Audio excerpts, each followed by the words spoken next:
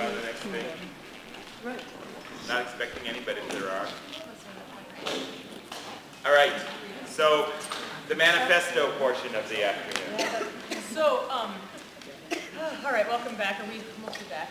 Did we lose a few people? Did they, what happened? No, they're here. They're up here. That's why I had that moment. It The crowd looks different. Um, so I had an idea for a performance piece, but I really, I did, I worked on a play, uh, with, uh, Mac Wellman on, on Marionette, you know, and I wanted to do a performance piece where I just had a backpack filled with vegetables. And I was just going to slice them very quietly and carefully as you were reading your manifestos at the thought that I could throw vegetables at you at any time. But, and when I suggested this cool idea, Amrita looked at me like I was insane. So let's do it. I know, I know, exactly. Uh, You know, it's always a, it's tricky business to ask people to write manifestos because, you know, who really wants to deliver their manifesto? I mean, it, so these guys, you've done a great service to sort of take the risk of your vision of the, the future of the form in the field. Uh, and so I'm super appreciative. So what we're going to do is, um, we'll just sort of read them kind of one after the other. Uh, I'm going to ask you a few questions, uh, and then we'll open up questions, and then at 4:30, we will go into um, our breakout groups so that you can all really talk about them. So whatever we don't feel like we accomplished uh, in um, the question and answer here, we have plenty of time, we have a whole hour before dinner to continue the discussion. So, um, okay, uh, I don't really have a particular order, but I wouldn't mind if you started, if, um, if you don't mind. Oh, All right. because I'm right next And to so, you. um, And evidently, David, this is what I get for being the last. that's right, exactly. Exactly. Um, okay. Go ahead, yeah. All right. yeah. In the lit office of the future, we will have I'm have sorry, figured sorry, could, could you, could each of you just introduce yourselves one more time as you speak, because I've already forgotten. Yes, do that, yeah, yeah, yes, please, Aaron Carter, introduce yourself one more time. Um, I'm Aaron Carter. I'm the lit manager at Step. Um, in the lit office of the future, we will have figured out the work balance between the time-consuming act of digesting plays and the equally time-consuming act of devising ways of communicating to audiences about plays.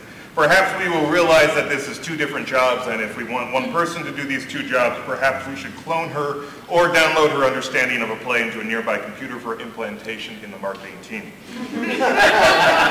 Speaking of technology, the Lit Office of the Future will have embraced the ways information technology can improve our work. If Facebook and Spotify and YouTube can turn us on to new music, why not new plays?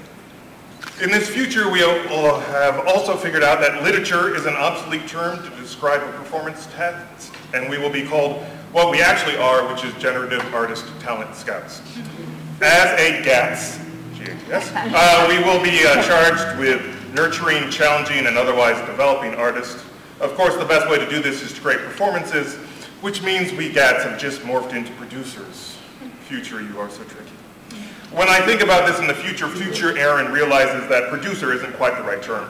It's more like the moguls of the visual art world, like uh, Marian Goodman.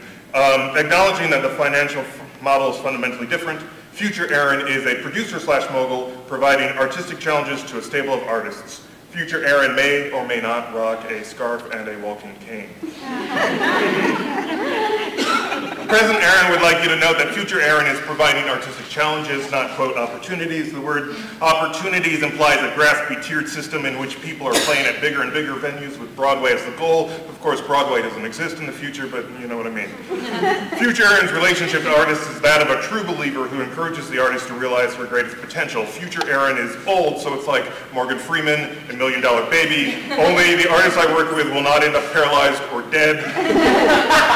At least not because of their achievements. Let's just focus on me as Morgan Freeman and ignore the part where this simile falls apart under examination. President Aaron has just realized that he has admitted in public that he wants to be a guru.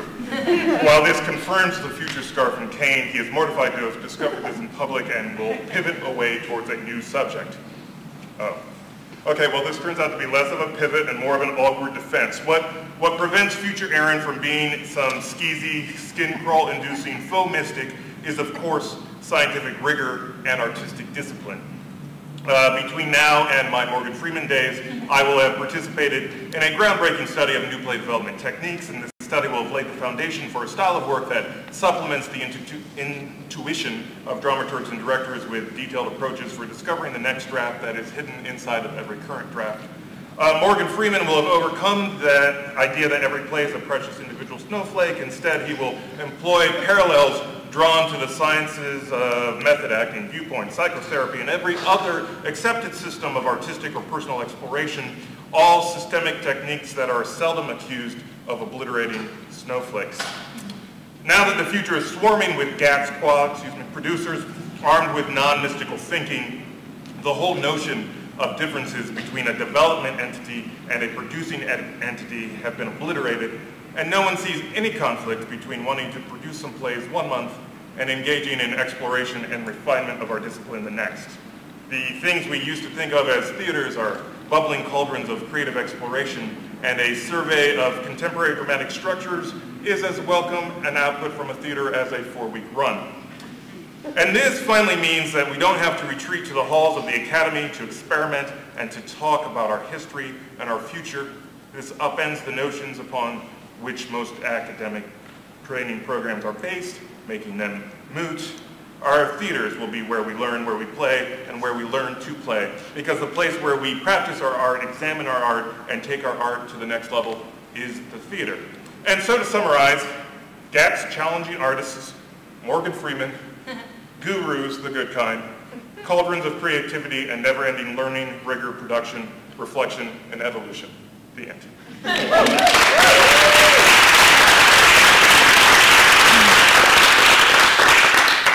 I had a cane for you, I could have brought. Uh, Adrien-Alice, go next. Um, hi, I am Adrien-Alice Hansel. I am the literary director of the Studio Theater, and I hope I'm speaking loudly enough. Um, so this is in the literary office of the future. Well, first of all, sometimes it's my dining room table during the kids' first nap, just me and scripts and tea, and whatever words, and whatever worlds those playwrights want to take me through.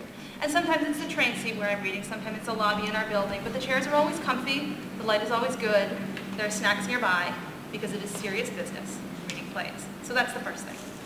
But then sometimes this literary office is the conversation at the big table in the middle of the office, where the folks who plan the season meet. The mix of artistic and production types, a rotating cast of development and marketing who are different ages and have different tastes, but who get what the theater is great at and what it wishes it were great at, and aren't afraid to argue about what that is and what it should be.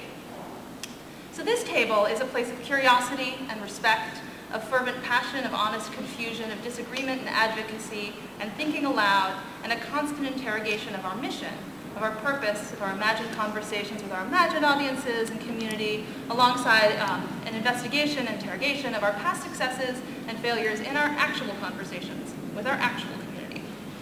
And for me, this literary office is located in a theater that's big enough to have ambition and small enough to know everyone's name.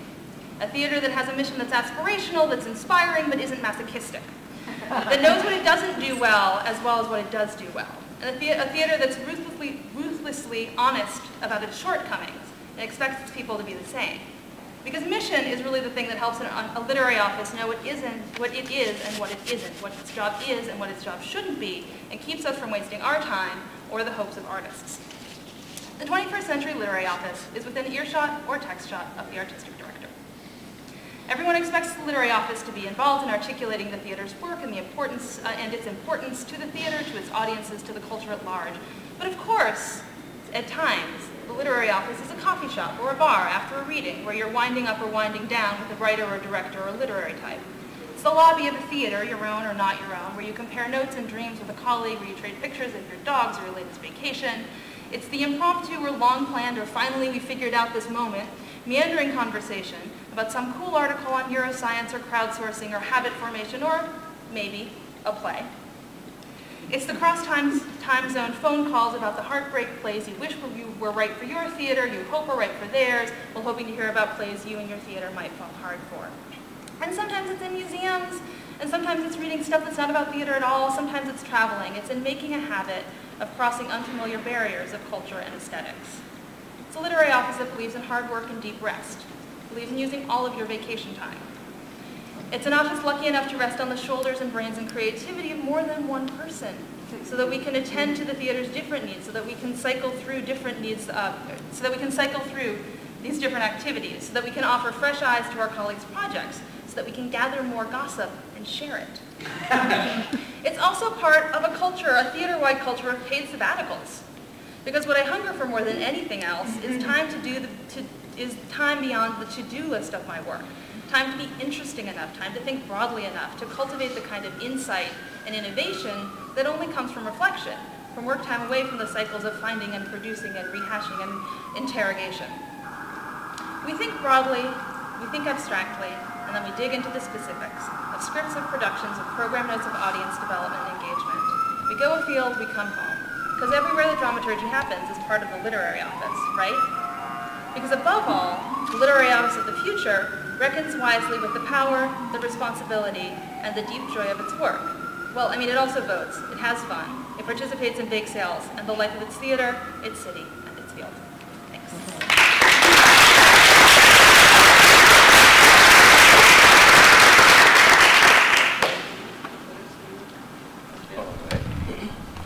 An introduction there first, and yes. Absolutely. Yeah, thank you.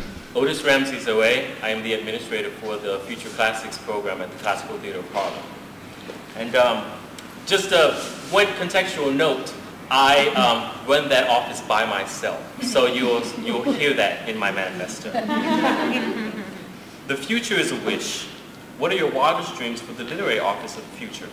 One, in the literary office of the future, isolation and solitude are abolished. no one is alone. Two, in the literary office of the future, community and collaboration are emphasized.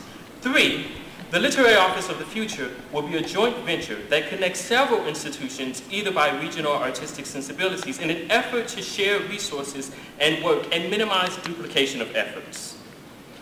Um, literary office will be a system. One way that this system might work is that literary managers from one region work together to review material that is submitted for consideration. Um, at present, as we know, a single play may be submitted to multiple theaters, say 20 different institutions. In this case, 20 or so different literary associates are all reading and evaluating the same play. In this type of network, per perhaps there is a database that tracks the submission of works, and uh, each play is evaluated by a minimum of two individuals instead of 20, who then report back to the whole group as a part of the evaluation process. Um, in such a network, it is crucial that literary associates have an understanding of what types of work will satisfy other institutions, and script reviewers will recommend plays and playwrights to peer institutions. In this way also, the literary office becomes and exists within a larger community that serves both specific institutions as well as a larger field. Four, in the literary office of the future, gateways will be abolished. At present, scripts, artists' ideas are met by a series of gateways um, which they will either pass through or, which, uh, or at which they are halted. When gateways and such uh, obstacles are eliminated, the literary office will cease to be a destination. Rather, like being an artist, it will evolve into a way of being in the world, a vast network, a series of relationships. And in this way, oh, this is where I finished, did not finish the thought.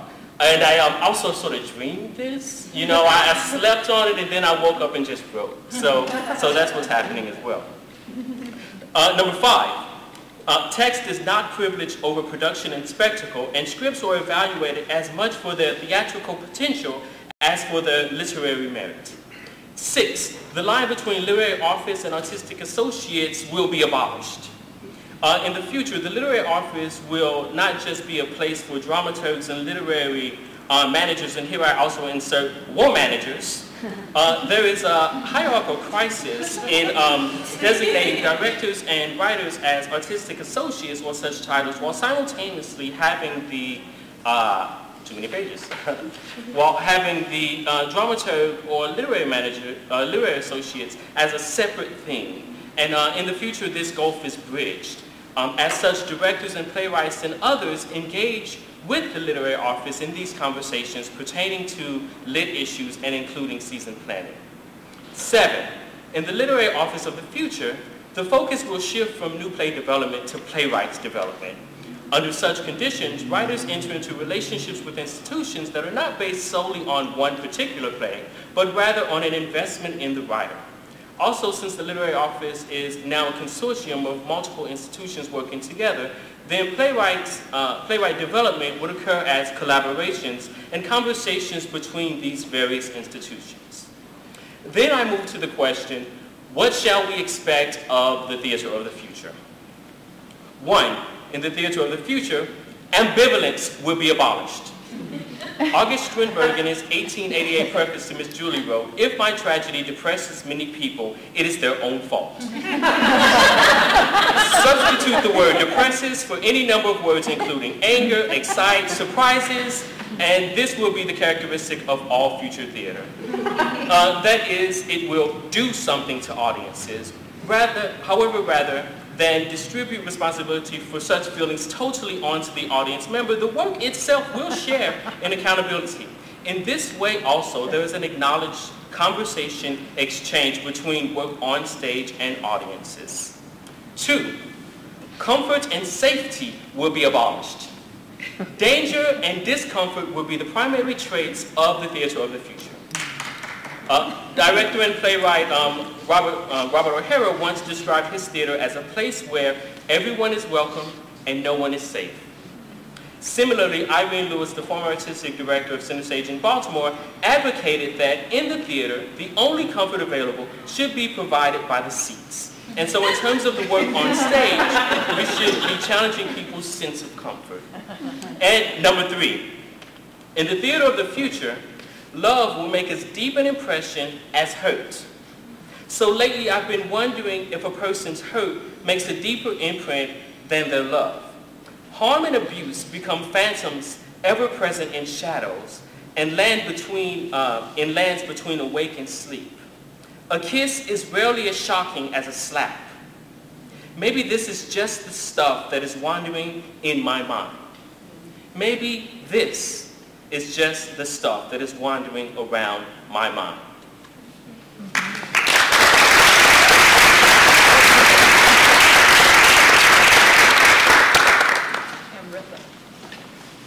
Uh, hi, um, I'm Amrita Ramanan, and I'm the lit manager at Arena Stage.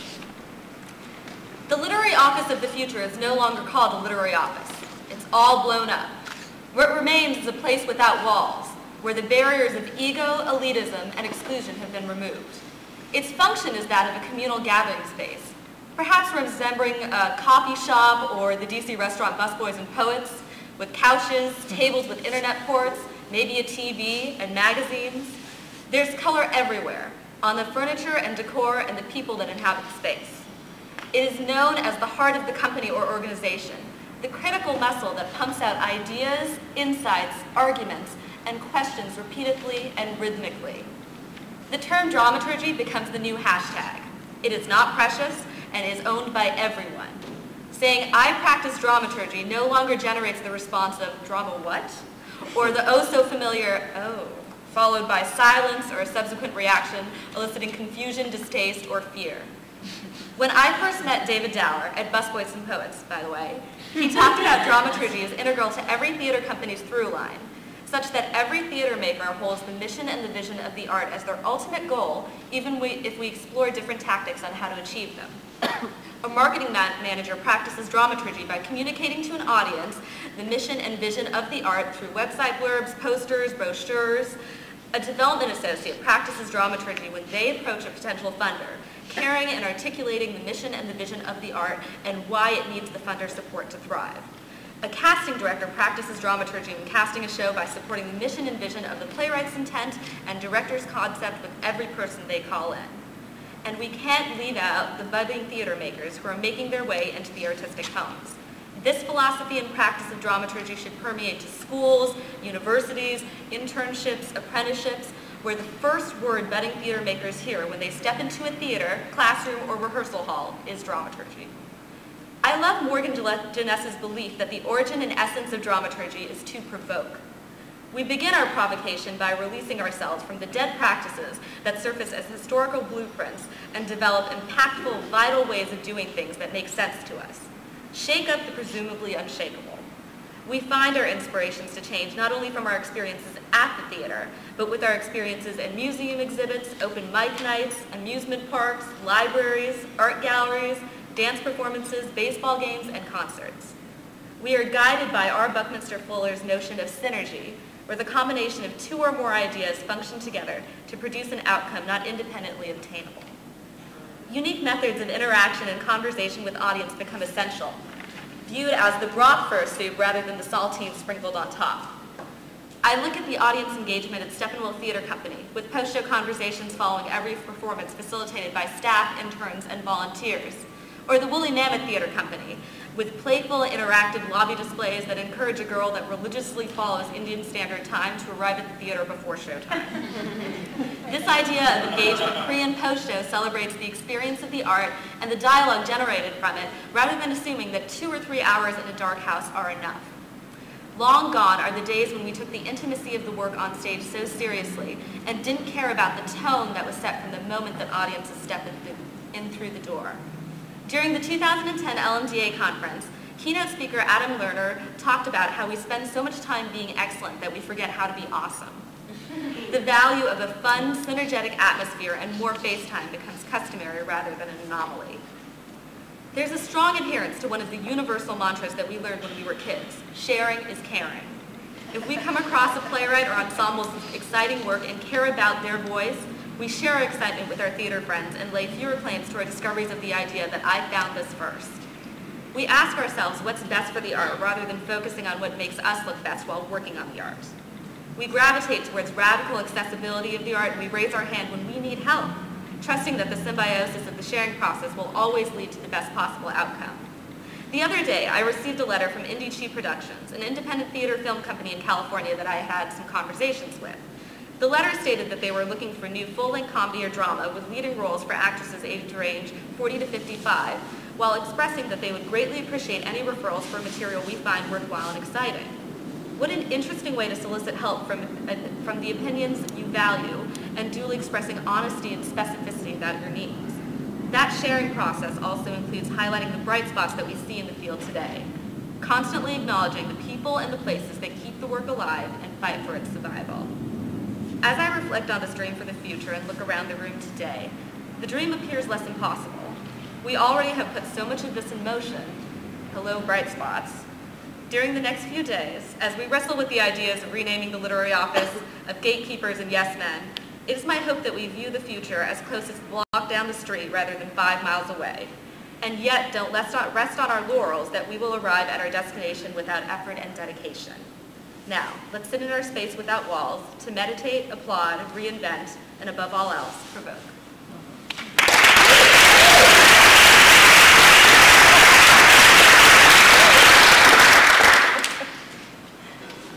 It's funny to go last. I'm sensing some themes. hopefully you will find this uh, themey and, and not simply repetitive. Um, I'm Julie Felise Dubiner, work at the American Revolutions Project at the Oregon Shakespeare Festival. I used to say that as a dramaturg, I am the person who dares theaters, artists, and myself to dig deeper, to ask harder questions, to be more thoughtful. I have hurtled around the country. I was lucky to work at theaters others admire from afar. But most days I felt like a functionary in a system so broken as to be making a mockery of my daring and training and hard-earned wisdom. I could feel the interestingness being sucked out of me and the work. I could feel a sense of despair creeping in and taking over my brain, heart, and mouth.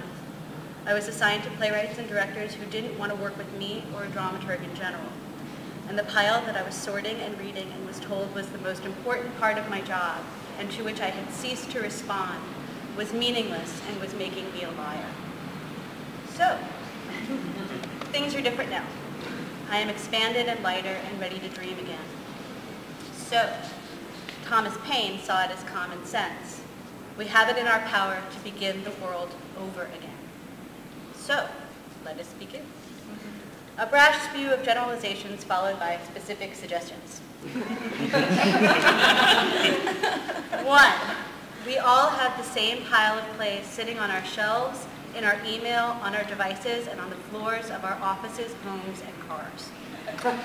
Let us call for an end to the submissions as we know them now. Let us call for the creation of a national database for new plays. If we pool our resources, we can begin again. Imagine the glorious moment of seeing in a snapshot all of the plays that meet your criteria, your mission.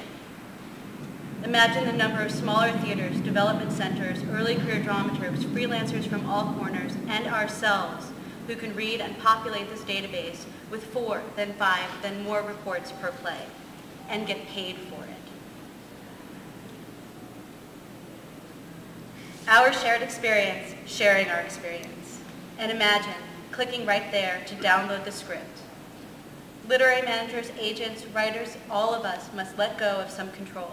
Yes, playwrights might see a more honest report, response to their work in such database than they get in a meager rejection letter. But playwrights are not fragile creatures and should not be coddled or act in any way less brave than we need them to be. There's no good reason for us not to work together, and I dare us to work together. Two, our artistic directors don't read plays and our colleagues don't read plays. Let us call for more dramaturgs as artistic directors. I had an applause spot there. Work with me, people. This is very serious. Let us stop writing rejection letters, especially those that say our artistic director has passed when we are the ones passing. Let us claim that responsibility, own it, and accept it. These letters that lie have disempowered us and created a dishonest relationship between theaters, dramaturgs, and playwrights. And I dare you to accept that other people know as much about plays as we do. Involve your colleagues in the reading. At OSF, the season selection process involves as many as 60 people from all departments, including the bartenders, getting together several times to recommend and read and discuss plays. It's not that hard, and the payoff is immeasurable. I dare us all to surround ourselves with colleagues willing to make that commitment with us and to share their wisdom with us. Three, regional theaters have become inflexible as they are beholden to an increasingly irrelevant subscription model. Let us begin by calling upon every theater to hold at least one spot as a TBA slot. Budget it, staff as you can, get as much decided in advance as you need, get your company and your audience excited to embrace the unknown, but pick the work as late as possible.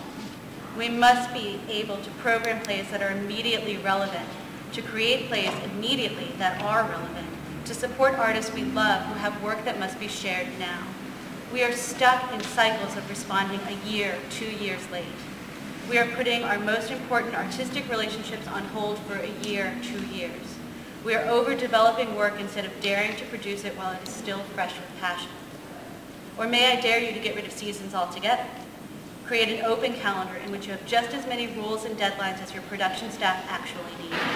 Create a repertory, create a timeline in which different models of playmaking can actually be played with, and a show can run for 10 minutes or five years. I double dog dare you. Four, no one knows what a dramaturg is. Let us call for the end of the job titles of dramaturg and literary manager. I am a dramaturg, but that's not all I am and I bet it's not all of who you are either. We are artists, and we support artists, and we know how to make dreams come true. We should seize and demand the power to say yes. We have over-specialized ourselves into obsolescence, and we must reclaim our place as complete and daring theater artists, which is no longer what those titles imply. I hope those who find themselves out of a job, as I have, find ways to reinvent and let go and begin over again. I no longer wear the title of dramaturg solely. I am part of a team that gives artists the resources to have a life so they can make plays. I am part of a producing team that makes dreams come true. I no longer have a submissions pile, and yet I have read more plays in the last year than the previous two years before. I have taken responsibility and picked up the phone, traveled, and met people in real life and the virtual world. I don't sit around waiting for the mail, and I am a better friend to playwrights and theater makers than ever before. We must read books and newspapers and travel and meet other theater makers and people who make something other than theater. We have amazing skills, but we have become unable to fully utilize them or grow as artists and people in our own right. We must get out of our offices and bring ourselves back into the creative process. How dare we tell artists what to do or not to do if we are not willing to do it ourselves? We must be active and go out and find the plays, make the plays, dream them into being. We must remember the love of everything that brought us to dramaturgy to begin with. And although we understand structure, I dare us not to be bound by it.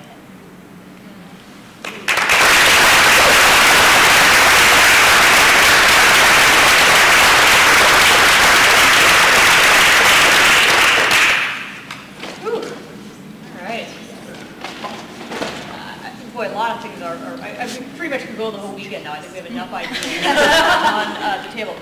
Uh, I have a couple of things I want to talk about, and then, you know, we can uh, move out to the rest of the group. I- First of all, you know, this argument comes up all the time um, about, you know, play as a literary form or as a form that's a play, and then we've got this thing called the literary office.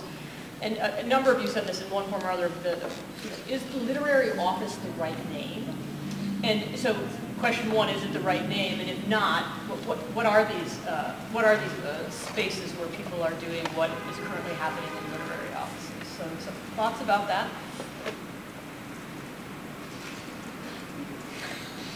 We've already shared ours. I'm making you guys talk just a little bit more about your area, you know, just a little bit more. I don't know, I mean, I was thinking about it when I, when I came up with the idea of getting rid of the titles altogether.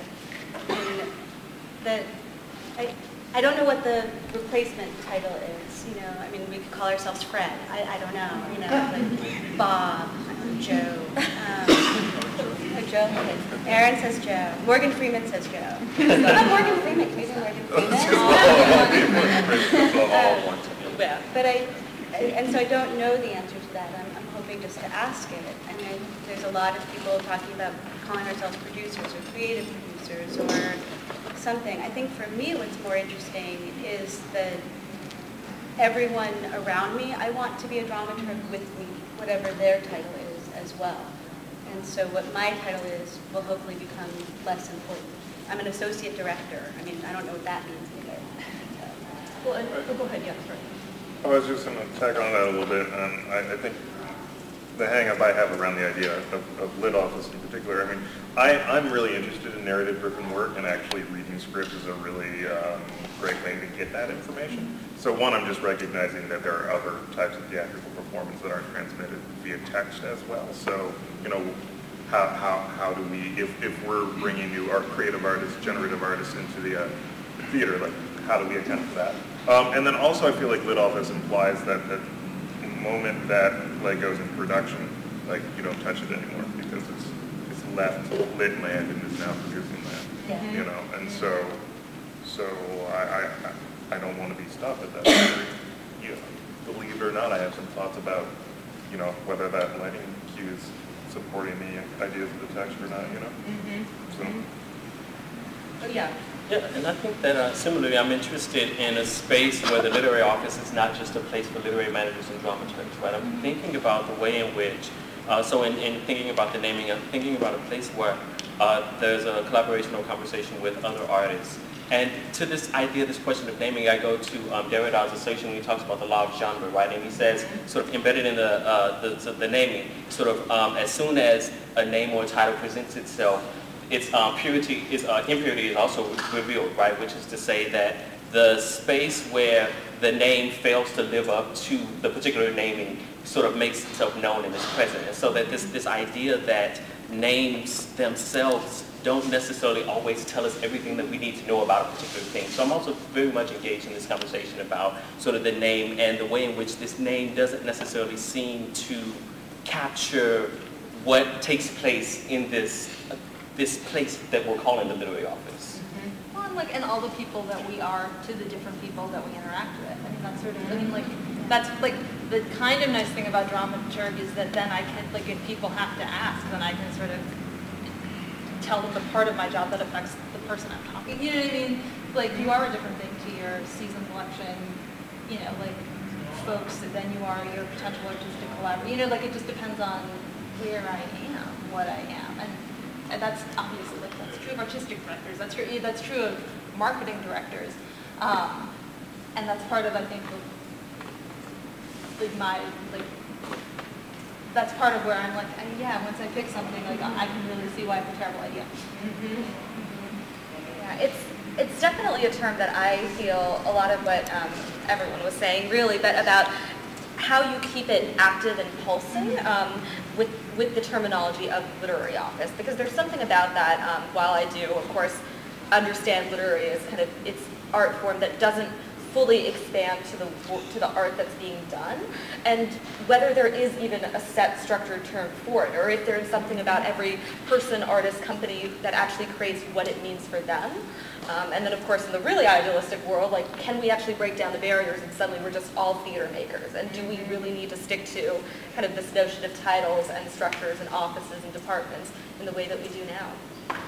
Yeah, it's interesting, I mean, the, the literary office, uh, you know, I just see, it looks like a library.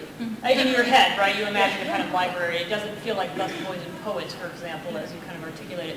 So it's just an interesting, you know, is that the, um, is, is that the language? And I, I think, you know, one of the things that a number of you brought up uh, is this question of, you know, the, the kind of role of the, whether it's the literary office, literary manager, the dramaturg in this sort of creative process. And, you know, I, I had two very formative experiences in my career as dramaturg. One was um, very early on, I had a conversation, I was, when I was running the Playwrights' Center, I had a conversation with a local dramaturg who'd been around for a very long time and had been really um, just formative in the kind of new play scene in Minneapolis. And the Playwrights' Center had an award for theater artists and the most, you know, so for people not, who were not playwrights, so lighting designers, you know, designers and directors. And I went to this uh, dramaturg and said, yeah, you should really apply for that. And dramaturg said, you know, I'm not an artist and I wouldn't fit. Um, ultimately applied and got it, uh, so that was great. So somebody thought differently about whether um, that person fit in it. But the other formative experience was uh, I was working on a play that I'd been working on as a dramaturg for God a year and a half or something, and you know I've certainly worked longer. But if we were in the middle of production, you know I'd been in the room, I hadn't been home in you know weeks and months and days, and and I was talking to the artistic director who proceeded on that day to say to me um, that uh, dramaturgs don't have as much skin in the game as everyone else. It was a bad day. Uh, and, um, we, uh, and we had kind of a, a shouting, you know, kind of a big shouting match in, the, everybody else. Um, and, um, but my, you know, so my question is like, you know, what is the skin in the game in terms of the creative process for, uh, you know, people who function in this world of uh, with all these different hats, because I think you're pointing to that, Adrien-Alice. So I just wonder, you know, what's the skin in the game and what is the creative contribution and how does that get, um, how does that get recognized within the terminology, that, you know, in that, that world of like, nobody even knows what a dramaturg is. Not Yeah, Yeah, no, no. There, have you seen that meme going around with what's a dramaturg? The dramaturg one Yeah, question mark. Yeah, like, loved it early. Like I feel like that's like you know like I feel like that's one of the things, especially like times when I see productions of plays that I have loved it, but not and then I've ultimately worked on for whatever reason. I wasn't for my own institution or it's being produced in another institution, um, and I don't. It's like a part. Like I don't know how to talk about it. It's not cheesy. Like it's it's like I loved what it was and recognized what it has become and like that, like that, like there is an intellectual and artistic skill to seeing someone else's really smart choices, many people's really smart choices. And sometimes you see your own. Like if I worked on it, then part of what I'm seeing is like how like I inevitably on first preview when the audience tells me what the hell's play is, like I always think about the first draft that I read, and there's something there's something about knowing that, and I, I don't. It doesn't sound. Uh, maybe it doesn't sound vital. Um, I can talk. I suppose there are other things that I could say, but the truest thing is like I loved it for a long time, and then I got to see it in front of an audience, and whether it's its first audience or not, whether it's a new play or not a new play, like I, you know, like I love it for like all of its like glory and compromise. You know, like like I know it well enough to love it for real, and that feels like that that I of course I so so like. How dare that person say you don't? You know what I mean? Like of course you can. But I think the term skin in the game, though, is a little bit different than that. I mean, I certainly, Yeah. like, I go in and, you know, there's a Jewish, uh, Yiddish term, kvelling, and I mm-hmm. kvell over these plays, you know, the ones that I found in the pile, or the writer that I've known since they were in college, or whatever those mm-hmm. things are. But skin in the game for me is that I'm actually willing to play ball. Mm-hmm. And, and I don't think dramaturgs have that all the time. I don't think that they need to either. I don't think that that's like a huge drama in and of itself. But to me, it, it's been harder as I've worked at larger institutions to feel myself that I have skin in the game. So somebody can say that to me and I would probably get as outraged now as I would at 19. You should have seen me at 19, 19 the level of outrage I could muster. But, but nothing compared to now.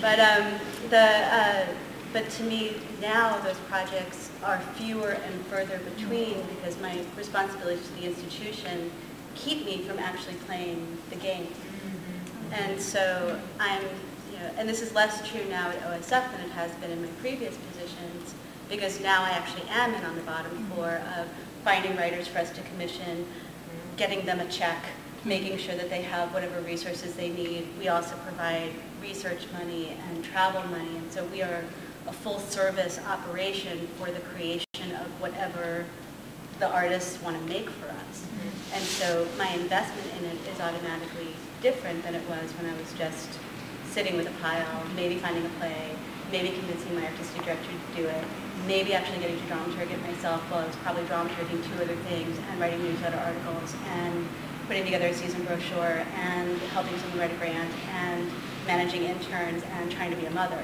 You know, so it's different. And, and that's not a bad thing, it just should be said. Well, in time, it sounds like you have time. Right.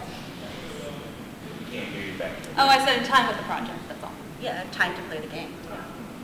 Yeah, the only um, other thought that I'm having that I can share publicly, because I'm having this, my internal voices are just fighting right now. right it's crazy. Um, but I'm thinking in terms of investment, which doesn't necessarily get at this idea of skin in the game, but, and this is where I think also we start to slip between literary management and dramaturgy, but sort of uh, on the dramaturgy end, sort of investing in uh, sort of that audience dramaturgy and preparing the audience for the experience with the hopes that you can give them enough information, enough tools, enough program notes, enough what, what, whatever it is, so that when they come to this experience, they understand it, so that we can sort of be- more validated when we get back to that place of I loved it first, right? Because it was actually the first thing that occurred to me as well in terms of, you know, as I've moved on from several institutions, one of the things that I've kept, you know, the first page of the scripts where, you know, I found this thing and I wrote a note to the artistic director and said, here, this play.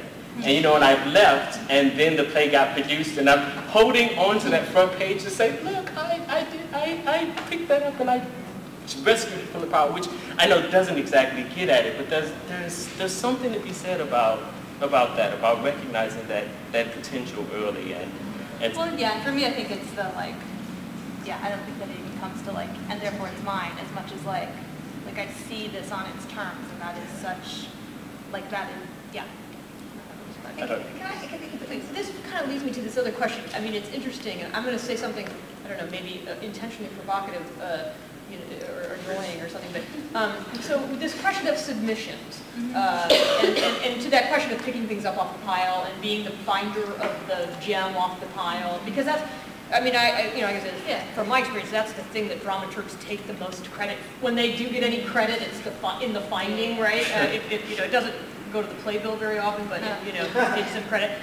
The, so in that, so we've, so we've been having in the sort of world of, I don't know, whoever's been following, it's been an ongoing discussion in the last few months of just submission policies. It started off with, uh, because Arena doesn't accept unsolicited plays, and, you know, uh, David's gotten a big kerfuffle, which we won't put him on the spot for now, but, um, and then, uh, and so in, in, and then, you know, I, I- when I went to Steppenwolf, there was enormous pride in Steppenwolf, uh, that they were reading 800 unsolicited, uh, 10-page samples.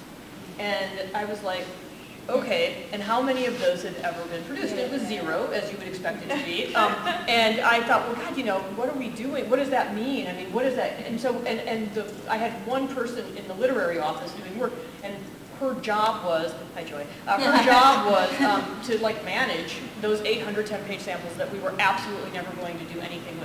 Um, and so I just sort of said, that's silly, let's get rid of that. Um, that's, a, that's a waste of time, It's the- and it's the lie that you talk about, we're just lying, we're not really gonna read, we're not really taking these seriously, we're them off to some people to read, we're having a conversation, it's totally internal. So, but I think there's something for the dramaturg literary manager in the control of being the gatekeeper. Like there's some pride in, I, I look at the pile, you know, so that's my provocative comment, like that we kind of like get bogged down by it, but we kind of like that we control it. So what about the submission thing? I mean, what about 1,200 scripts or 800 scripts or, and, and, and what, and about the lie that you're talking about, Julie? So I just wonder if you could poke at that a little bit more. I feel like it has so much to do with what your theater wants to be, also.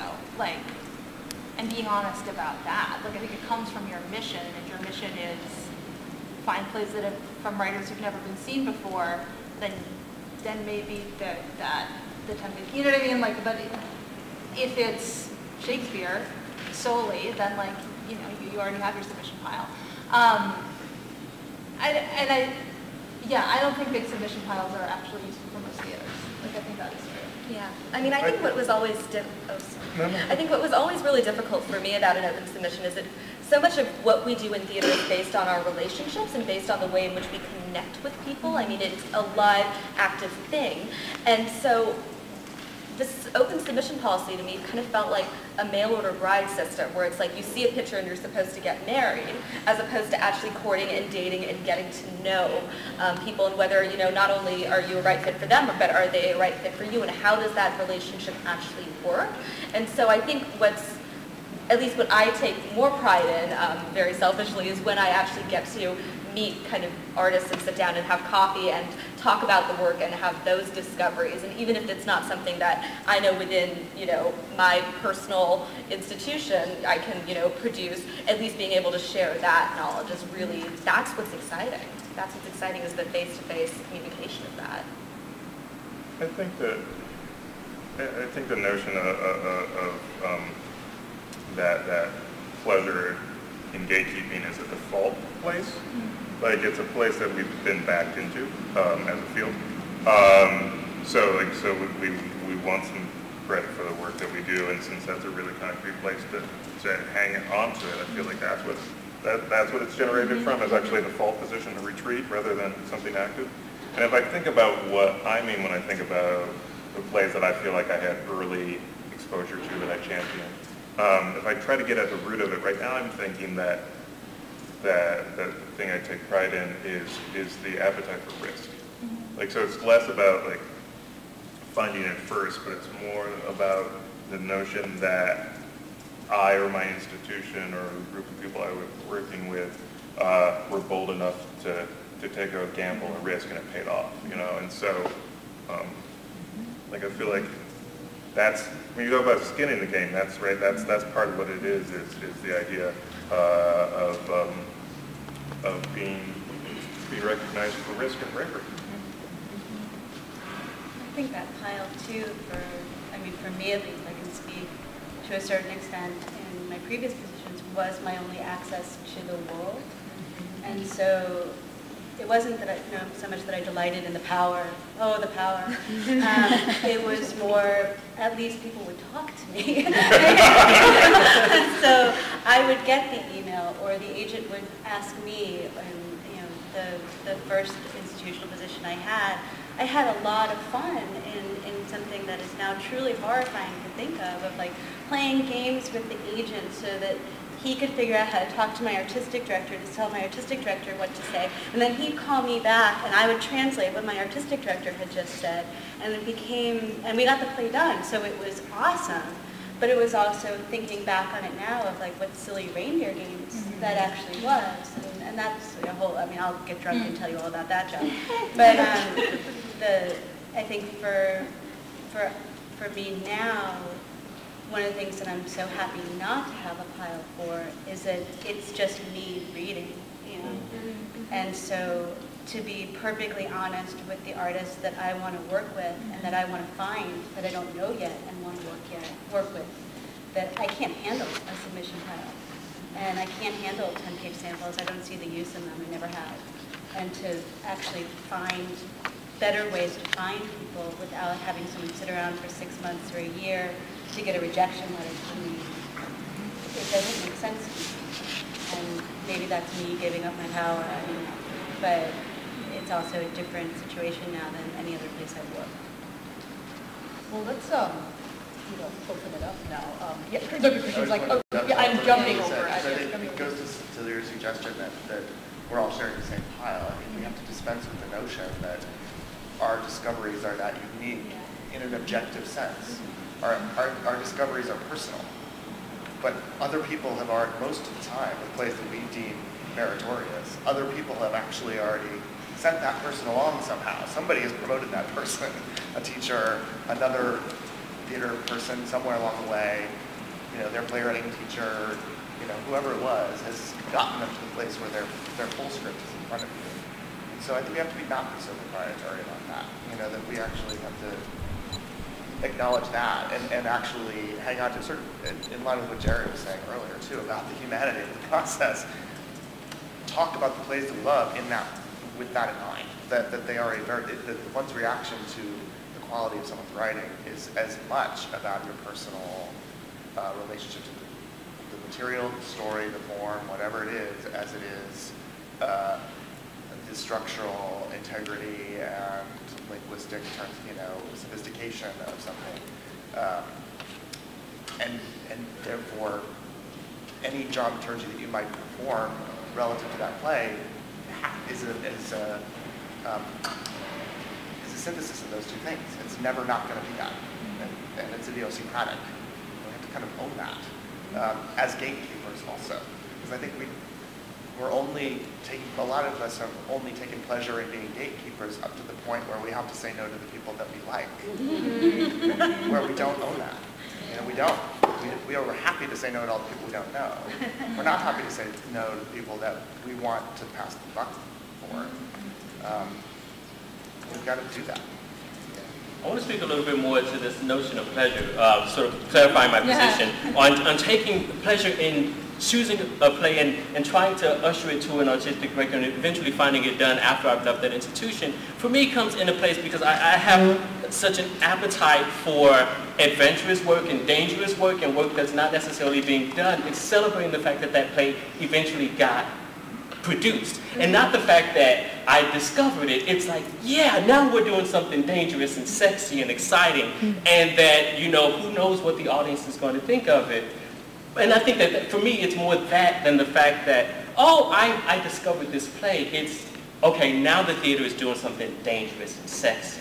Um, so I just want to clarify that that I, I, I, it's it's a complicated place to try to get joy in the fact that I discovered it because it's like I didn't discover anything. It's Christopher Columbus, right? It's oh oh I, this land I found. No people already lived here. so I, I'm smart enough to know that. Um, Tanya, yeah, go ahead. Hey, I just, I just want to talk about this submission thing. Or Yeah. It's something I think about a lot, and, and I completely hear what everybody's saying about the sort of utility of, of mm-hmm. some of these policies.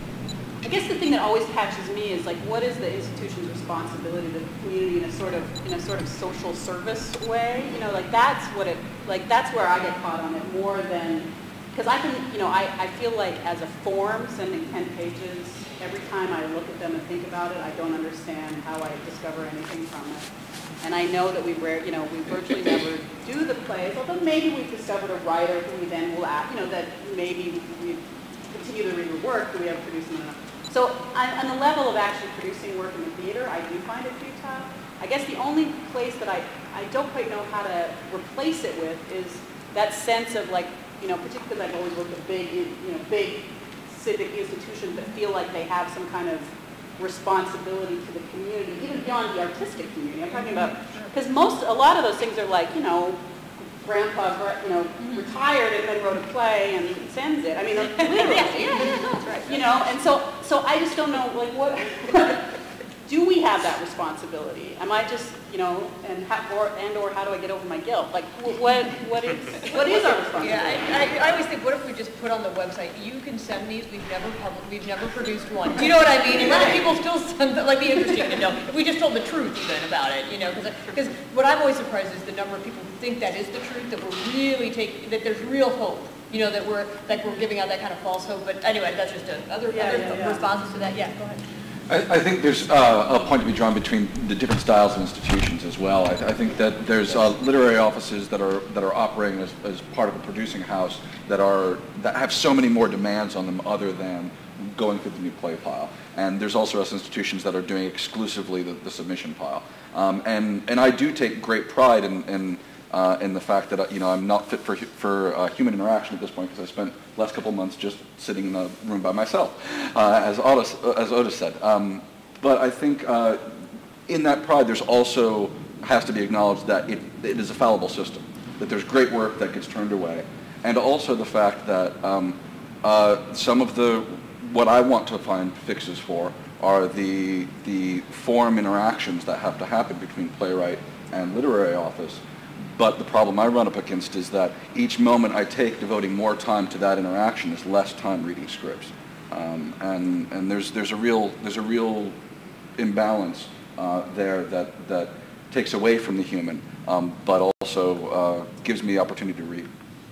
I could just mention that I should probably tell you that my O'Neill scripts are going to be late next week. And also, I was going to send you an email, but as long as we're here.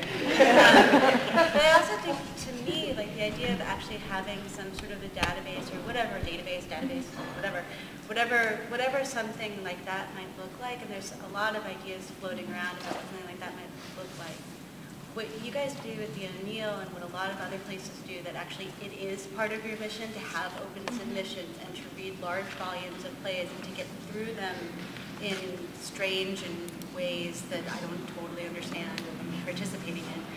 Um, it's not captured, I mean, it, it sort of is now in the Google Doc system, but capturing that so that, you know, and we always used to have a, a joke when I was still in Louisville, I would call Martin and ask him for his heartbreak list. Mm-hmm. And so I could sort of then populate, you know, my lists. And that, we all do that, but wouldn't it be interesting if there was a way to capture that in another way?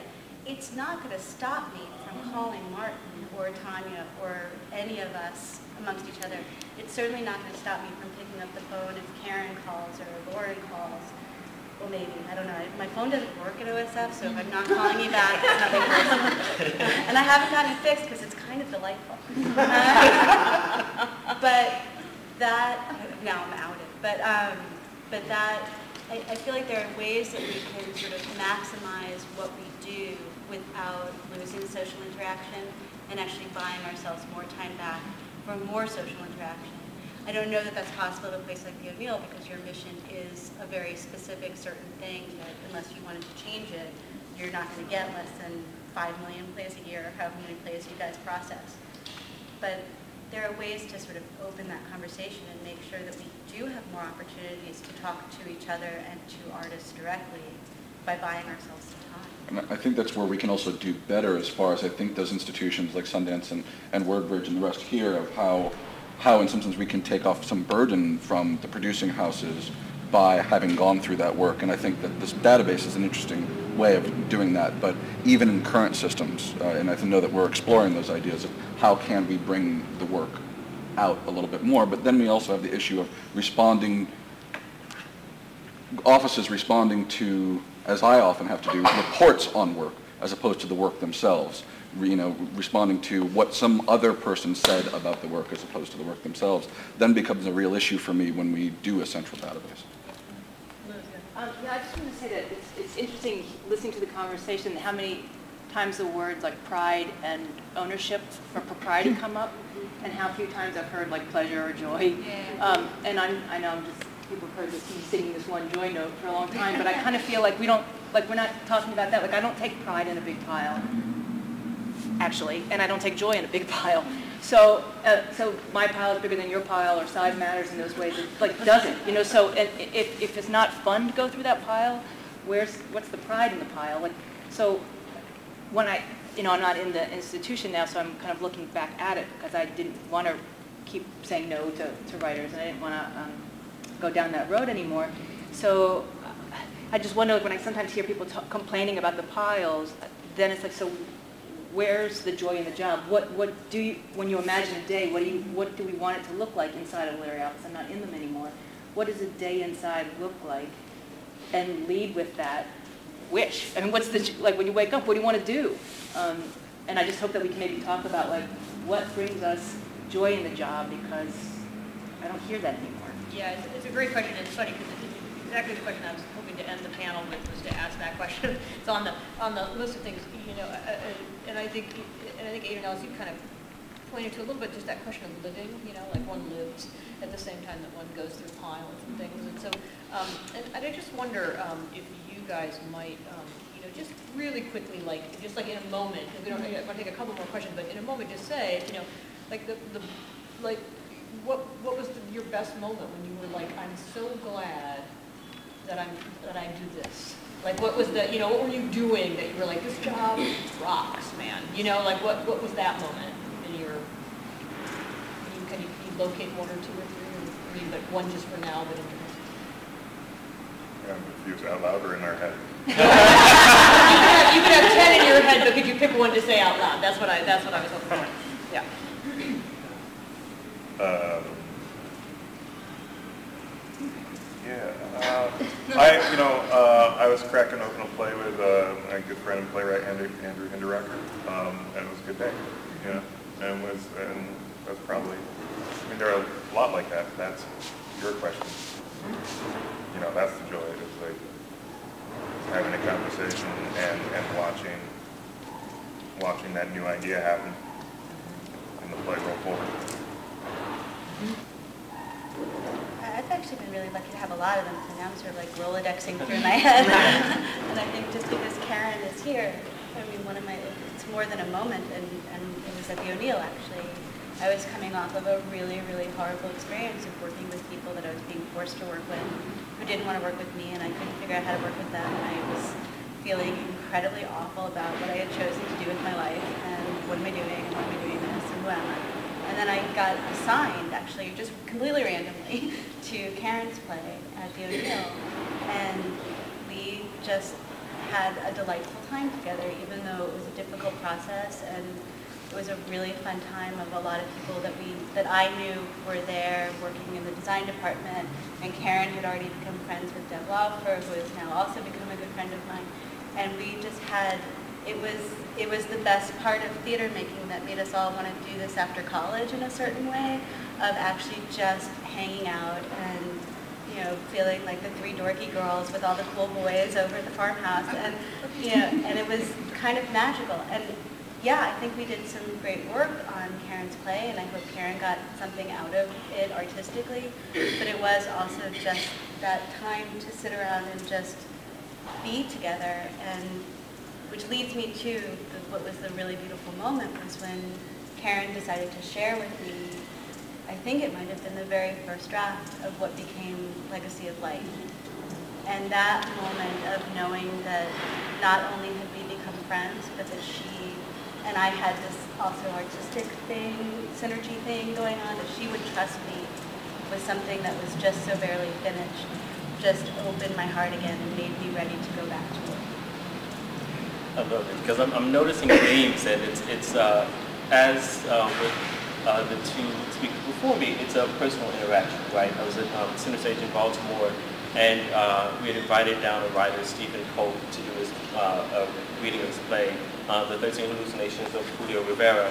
And um, Stephen had sort of gotten to a point where he thought, you know, maybe he needs to walk away from theater because he needs to actually live and he can't necessarily live as a writer right now. And so um, the, the phone call and the invitation came at just the right time and, you know, we rehearsed the play and had lovely conversations like for hours after the theater had closed, we sat outside of artist housing and just kept talking, you know, and then he went back and again he, he um, sent me the next draft of a new play that he was working on. But it was such an affirmation because, you know, here's a guy who's at the verge of saying, maybe I don't want to be a theater artist anymore. And, and you know, we just sort of connected and talked. And he wrote another play after that, you know. Um, I think one that just really stands out for me was um, when I was uh, working on a musical revue here at Arena Stage as kind of the dramaturg slash line producer or whatever those titles mean.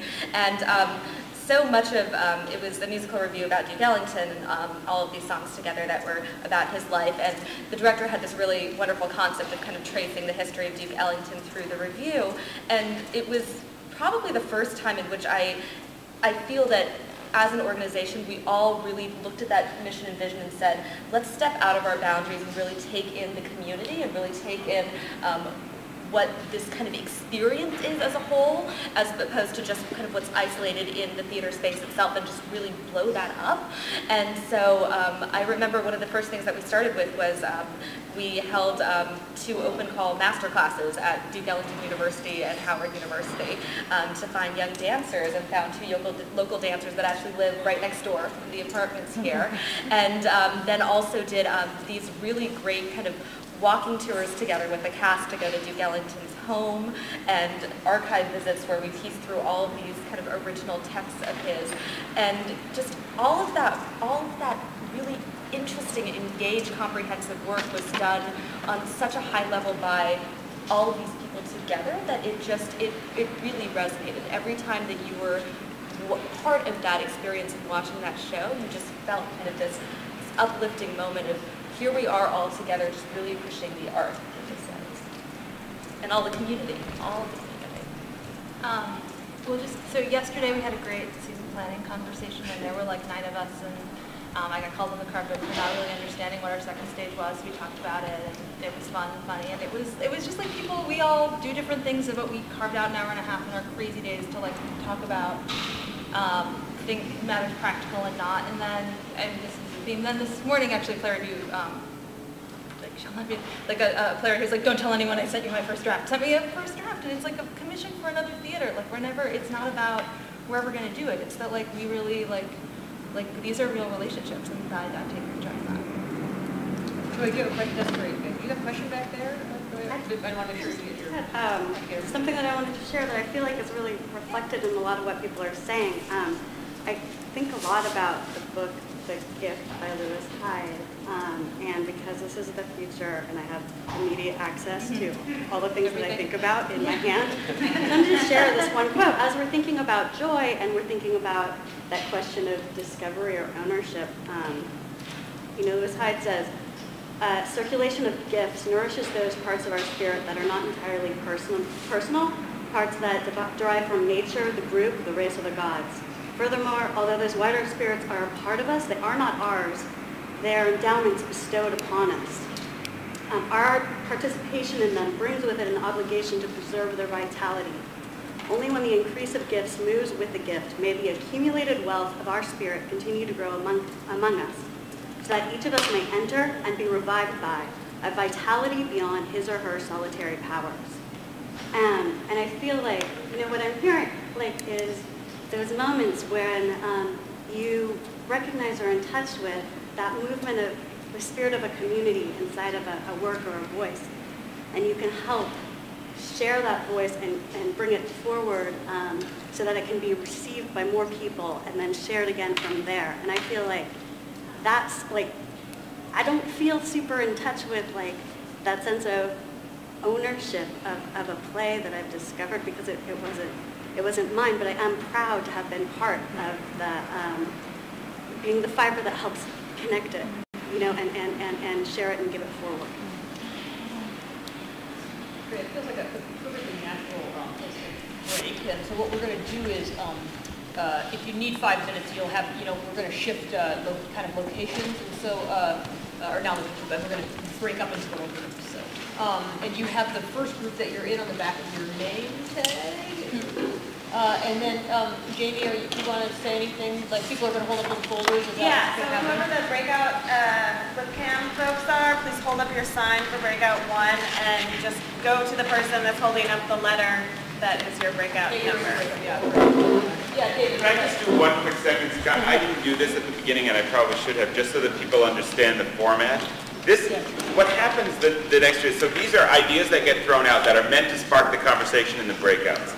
And then what happens tomorrow is that we'll work in a series of small uh, tables where uh, there'll be a listening circle and, and uh, the, the circle at the center that is speaking about a particular topic, and then those will continue to break out. So these breakouts are your opportunity. It, it sounds like we're talking at you. We're actually trying just to get to this part of it where everybody talks about what's going on. We're going to capture all of that in the, uh, both in Janice's report, but also uh, in the, um, through the breakouts in the, the, the little flip cameras. Those are about making sure that we have your actual quotes, less about them being streamed.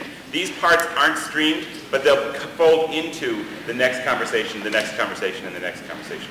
So what's going to happen now is, what we hope will happen now is that you guys will take this part, they, they've given you the prompts that you'll take this conversation the next step, and then we'll come back tomorrow with a series of uh, prompts that take place around this table and then move out into breakout sessions.